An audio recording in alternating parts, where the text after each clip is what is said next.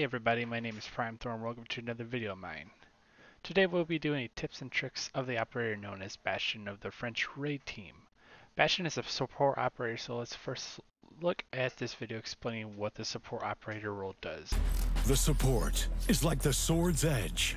A support fighter doesn't just attack, he also defends. They have the highest health and the toughest armor.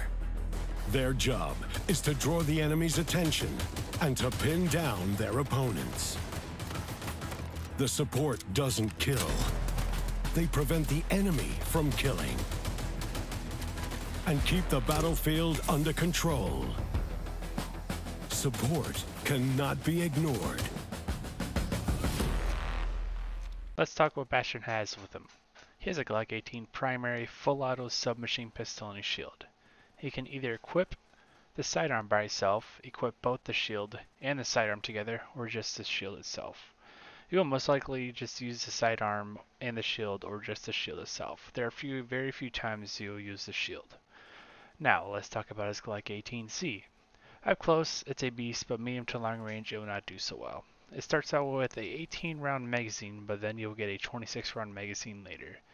Make sure if you're going to use the Glock, Use the one you know you can push the enemy and put them down. Remember, there is no melee in this game, so you can't just use your shield, since it'd be useless. Now, let's talk about the shield. The shield is very effective at protecting your teammates for either revives or assaulting the enemy. The shield will only protect your body, arms, and head, but not your legs. So if you stand to move towards the enemy, your legs will expose and can be shot at, which can be put you down. You can sprint you can't, or sorry, my bad. You can't sprint with only the shield equipped, but you can sprint with both the shield and the sidearm equipped.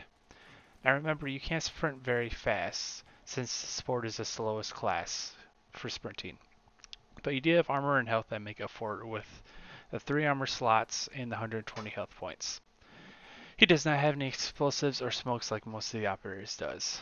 Now, his ability is called backup.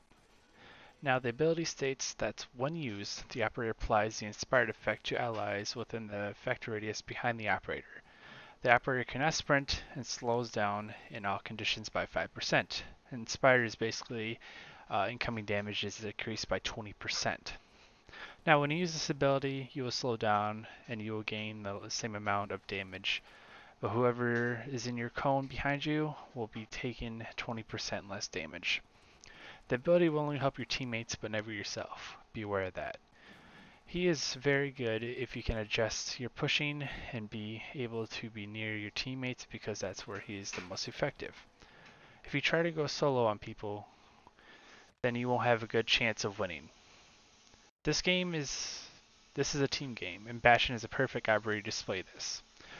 Now, some good tips is to use a shield around corners to spot enemies for your teammates and also to crouch when shooting the sidearm to gain the most effective accuracy with the sidearm.